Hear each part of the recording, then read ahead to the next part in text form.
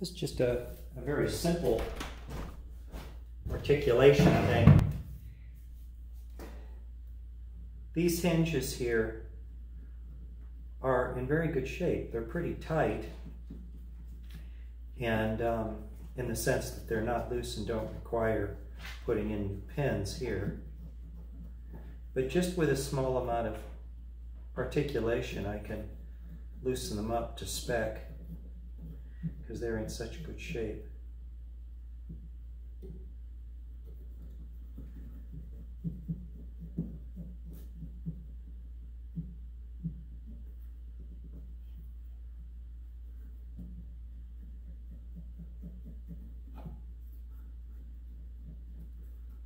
They have to move freely, but not loose.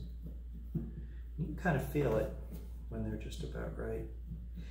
You can lubricate them, but I don't personally go that route.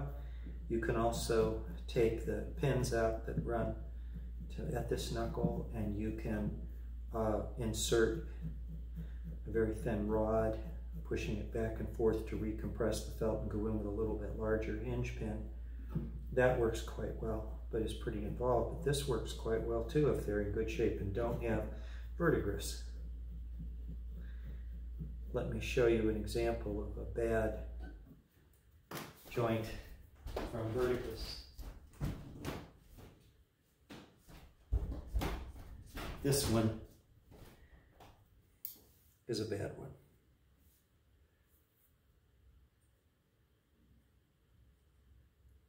And articulating it by hand won't really loosen it up a whole bunch. Whereas these are in much, much better shape. You don't want them too loose.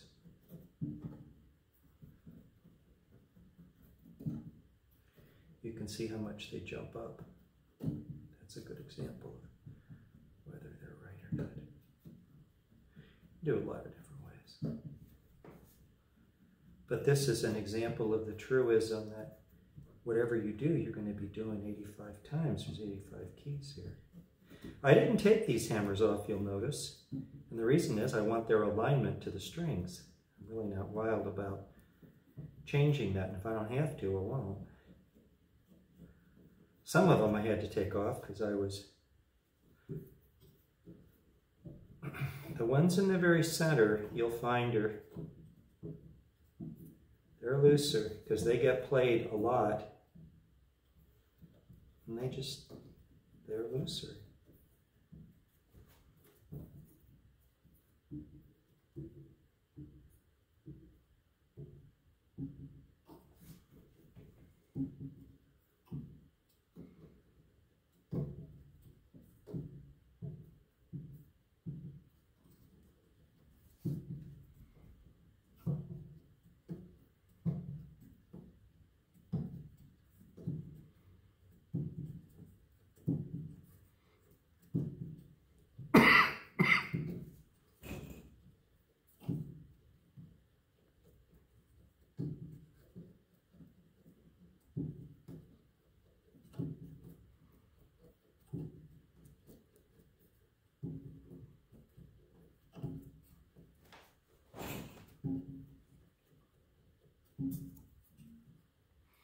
These parts are surprisingly tough.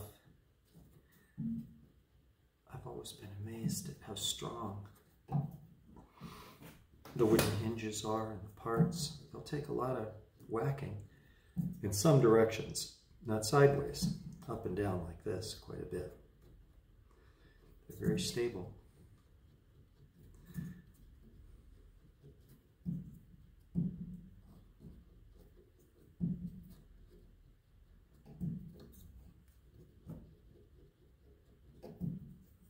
Here the bounce is different. They're loose.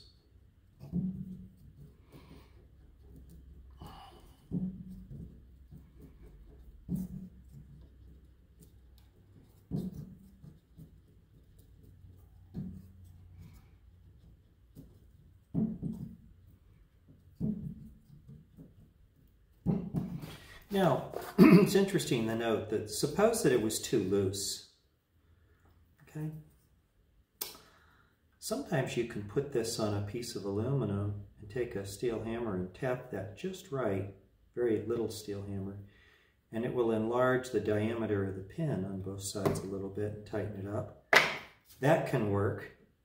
Otherwise, you take the pin out and uh, you'd have to kind of insert the rod and they're different sizes and you put in a different pin with it. That's it.